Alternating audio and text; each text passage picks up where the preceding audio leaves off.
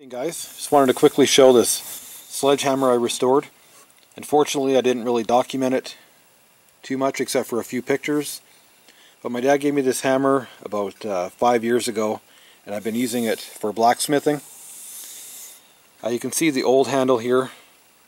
It was cracked and I have some hardwood and I was just looking for an excuse to do something with it.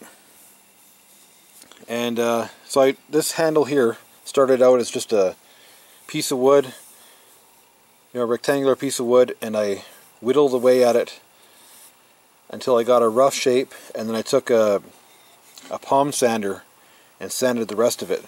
I started with 40 grit, and then I worked my way to uh, 180 grit. Just put a little bit of linseed oil on it. I'll probably put some more on after that. Uh, on the end, I made sure that the grain is going exactly the way it's supposed to. This way it's really important when you're making a tool or a handle for a tool that you have the grain going the right way. I'm just really surprised at how well this handle came out. It's the nicest handle I've ever made.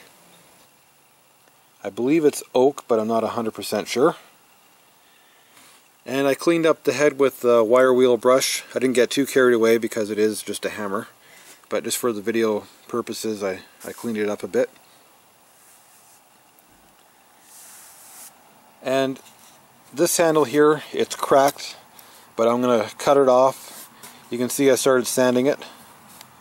You know, once you get past all that gray, it's it will be fine and I'll probably find some other use for it. Thanks for watching.